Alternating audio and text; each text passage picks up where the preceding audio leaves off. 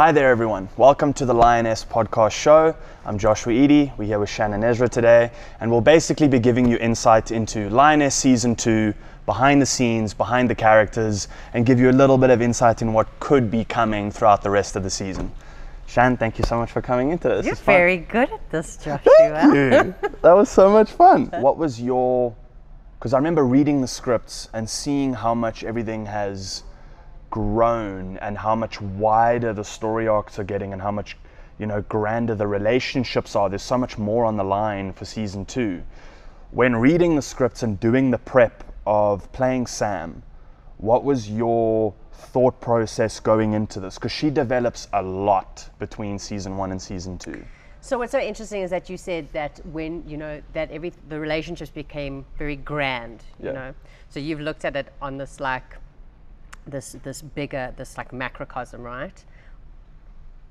And inside all of this grandeur are all these delicate little Yes. nuances Yes. that that you have to really kind of um, sink into. Oh. So I didn't. I mean, the growth that we see from Sam from season one. I mean, season one, she's literally just trying to prove to everybody that she didn't do it, Yeah. and she's trying to get her children to believe more than anybody that mm. she's innocent and that. But it's like our timeline is quite finite Yes. it's quite small. Whereas in season two, we're dealing with past, 18 months, 13 months, 15 months present. Yeah. Yeah. And so in that 18 month trajectory, we see we see some real big developments for Sam. She mm. has she has gotten together with Jason, Yeah. her, her her late husband, dead husband's brother, Yes. who's always had this crush on her. Yes. and and and I remember that to me was very shocking. I was like, "Why? I don't want this to happen." Yeah. But but the, but the reality is is that I, I know that that's where Sam had to go there. She Mm. needed an anchor. She needed somebody who has been her her constant. And Jason, Mm. for for all that she knows, he's been the constant. Mm. So now that we've got someone like Anton in the end of season, the end of episode two, saying you need to look at Jason. You need to reassess this whole thing. that is so ultimately destabilizing for someone like Yeah. Sam, who's tr- who's she, this is a woman who's basically trying to build her foundations on sea sand. Yeah. Yeah. Is the is the statement if if I make the statement of saying season one was Sam trying to prove her innocence. Season two is her trying to find a sense of happiness and normality. and it's also um, Sam trying to find the balance between being a good mother and being um, not just not a good mother. I think she is a good mother, but I think I think she gets very carried away trying to protect her children. Mm. She doesn't allow them to live consequence. She'll take it all on. Mm.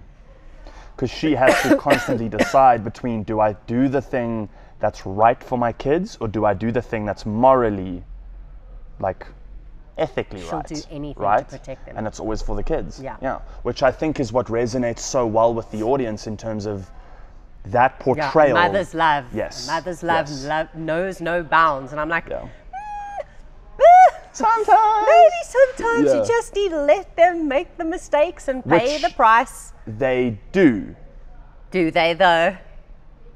Do they? I mean, that's a good point. Season one, like between Liam and Sam, season one, Sam saves the day every single time.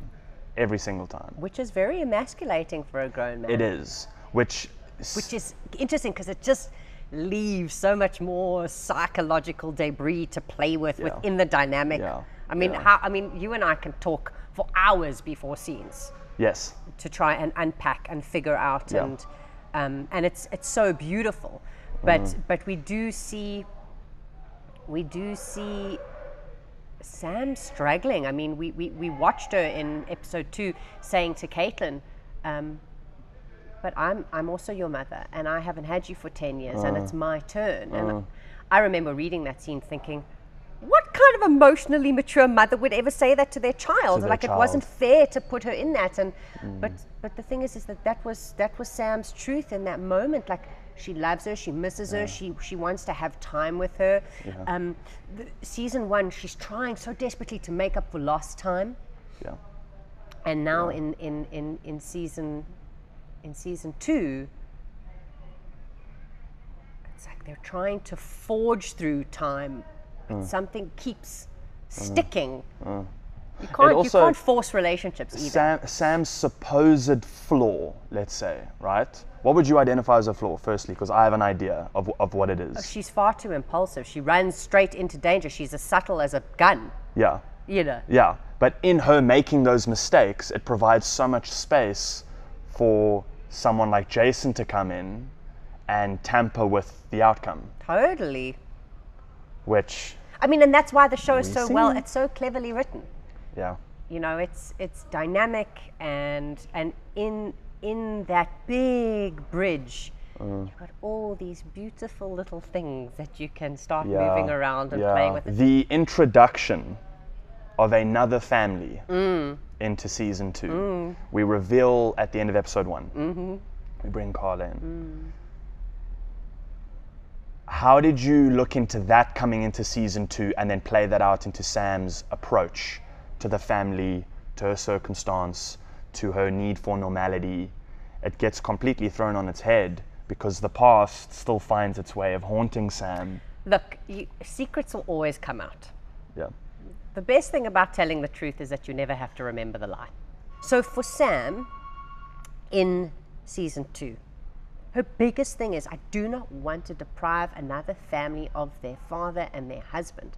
She Yeah. has such empathy and such pain and so much trauma from what happened to her. She would never want to see anybody like that again. Yeah. Which I think is, we know that it's coming from a very, very open heart and it's coming from a place of wanting to be as truthful and as transparent as possible, but at the risk of her son. Yes. And she will never do anything to hurt her children. So thank you for watching this far. We hope you've enjoyed episode one and two. Please tune into Mnet every Thursday to watch the next episode of Lioness at 8. And Shannon, thank you so much for joining us today. Joshua. Eady. Josh. ah. Yes. thank you so much. Thank you.